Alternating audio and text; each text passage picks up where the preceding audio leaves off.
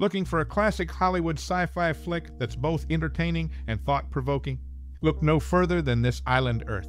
Released in 1955, this movie packs a punch with its mix of suspense, action, and extraterrestrial intrigue. Follow the journey of Dr. Cal Meacham, a brilliant scientist who finds himself entangled in an interstellar conflict beyond his wildest dreams.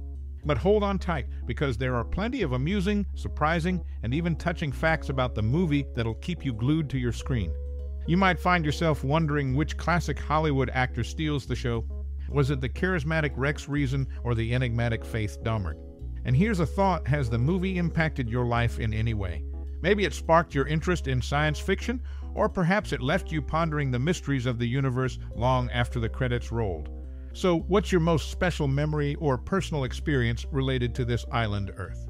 We'd love to hear your stories and memories in the comments below.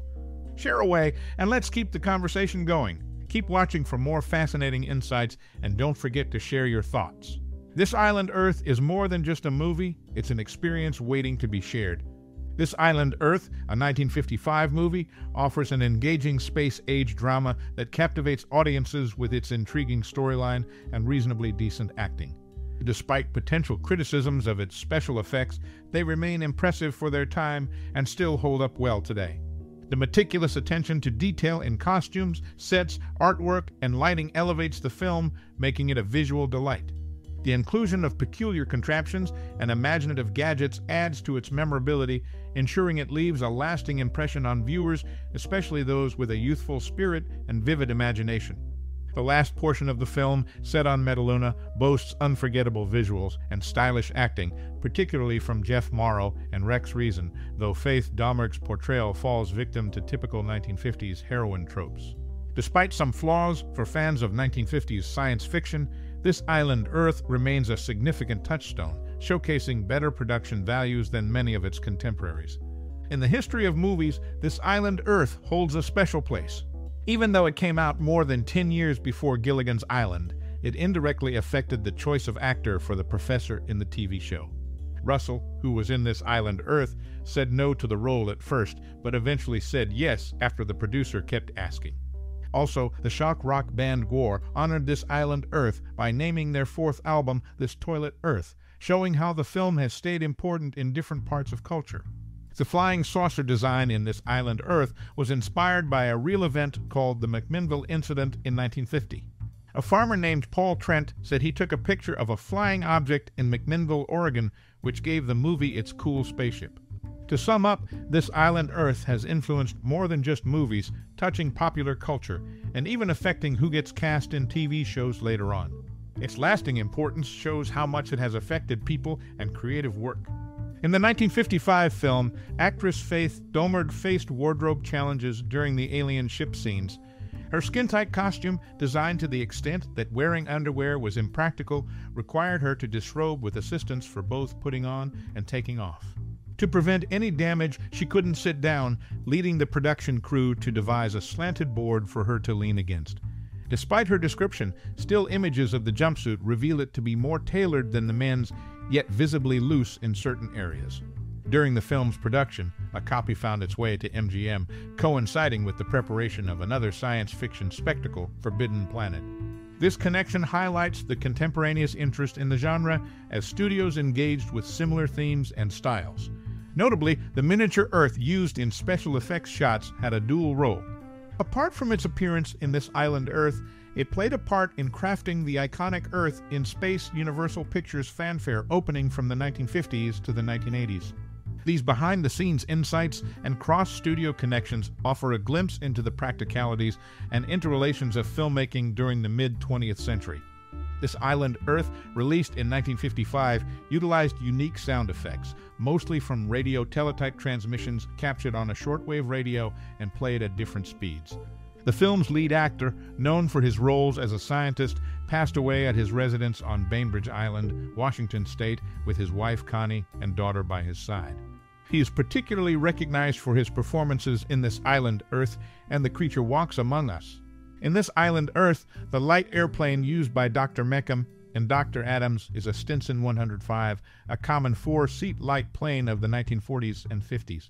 Douglas Spencer, who portrays the monitor, also appears early in the film as a newspaper reporter reminiscent of his role as Ned Scott in The Thing from Another World. Additionally, a large device resembling a desk with a coiled neon tube in the center can be spotted at the Ryberg Electronics Laboratory, a prop previously featured in Universal Pictures' Frankenstein films of the 1940s. In the movie, the plane piloted by Cal Meacham, saved from crashing, is a Lockheed T 33 Shooting Star, once used as a trainer and chase plane. Due to the rise in popularity of widescreen formats like CinemaScope, Universal Pictures began developing its own widescreen technology called Technorama. However, Technorama wasn't perfected until 1956. As a result, about 50 Universal films, including the one featuring the T 33 shooting star, were shot at full frame but composed and photographed to allow theaters to exhibit them at a widescreen ratio of 2 1. This Island Earth is among these films. The actor best known for his role as Professor Roy Hinkley on Gilligan's Island appeared in this film. After dinner, the German scientist says he needs some time alone to think after enjoying the music. He leaves while the others keep talking. Later on, a small old plane is waiting outside. Dr. Meacham, carrying some secrets, gets on board with a clear goal in mind. The plane starts up and takes off into the night sky, carrying Dr. Meacham toward more mysteries. This marks the beginning of another adventure filled with science and excitement. The night falls, but the memories of dinner remain. Released in 1955, the movie is famous for its memorable scenes and connections.